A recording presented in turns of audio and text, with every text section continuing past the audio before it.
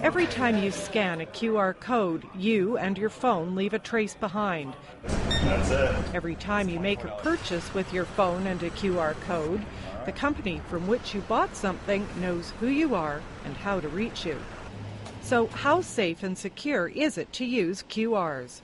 The security expert says QR is reliable. The security issues that have been uh, found in the wild for QR type security have been addressed for the past decade or so by countries such as Japan and Germany, France, and so on um, that have adopted that technology over the past decade.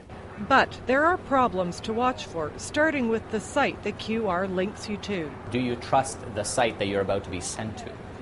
So when you see a QR code or a 2D code, a two-dimensional code as, as they're called mostly in Europe, you can't read these QR codes or 2D codes by yourself. Your phone will read it and interpret it as a website.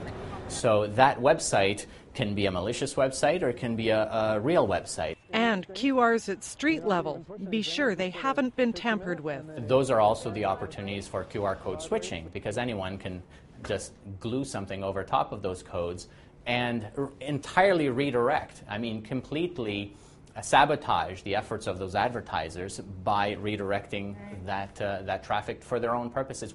QRs in newspapers or magazines are perfectly safe, says Popa. Still, he says, always be alert for fraudsters. Try to exercise vigilance and caution when you're sharing your credit card details with a company that you don't know.